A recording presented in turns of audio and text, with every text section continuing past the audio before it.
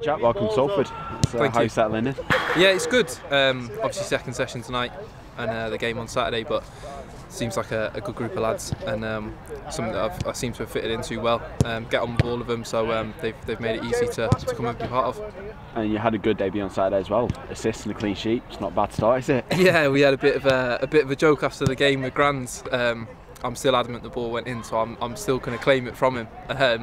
But no, obviously the, the main thing was, like you say, the clean sheet and, and getting a win and, and, getting back to winning ways. Are you looking forward to uh, your month here initially? Yeah, it should be good. Um, obviously, when I found out there was there was interest, um, it was something that I, that I wanted to do and, and jumped at the opportunity. So um, obviously, couldn't have asked for a better start on Saturday, and, and hopefully that continues for, for the month initially, and, and see what goes from there. And what's your hope to bring to uh, the group?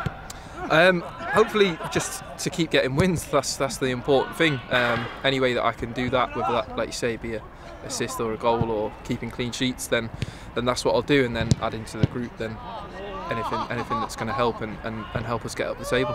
And looking forward to Saturday. Tough game against Harrogate. Yeah, I've played against them already this season with Gloucester. Um, they were a, a strong outfit, so um, it should be a it should be a good game and, and a good test.